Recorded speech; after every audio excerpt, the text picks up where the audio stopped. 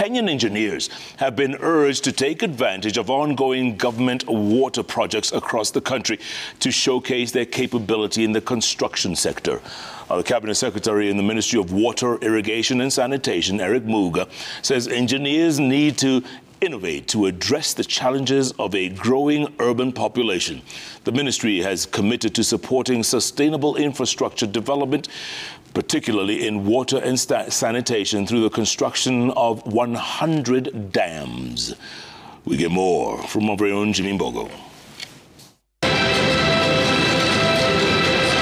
Speaking during the convention of the Association of Consulting Engineers of Kenya, the Institute of Engineers of Kenya President Shammah Kiteme highlighted the need for construction firms to onboard engineers and allow them to be actively involved in the day-to-day operations to safeguard the integrity of the profession as well as the structural integrity of buildings in the country.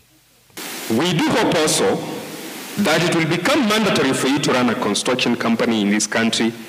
You must either be an engineer, you must employ an engineer, or you must retain an engineer as a consultant. We will continue pushing for this and we will do what is necessary so that this is achieved. For when we are doing this, we are fighting hard for the dignity of our colleagues, especially in the public sector. This was echoed by the regulator, the Engineers Board of Kenya, Chairperson Engineer Erastus Mungera, who noted that the board is in the process of cleaning up accredited engineers across the country to ensure that engineers who undertake projects are accredited. But where engineers were, were involved, we have had three suspensions. Uh, three engineers have been suspended. We have had uh, 18 warnings.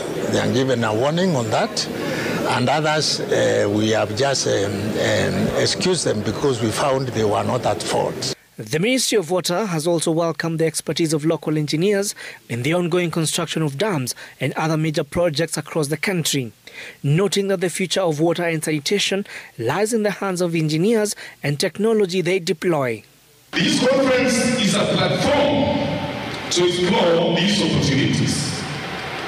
It is a chance for us to engage with cutting-edge developments in engineering and to consider how these innovations can be applied to improve water access and sanitation in Kenya. As the three-day ACEK convention kicks off here in Nairobi, one of the areas that the engineers are expected to focus on is how to enhance the use of technology to secure the future of the profession.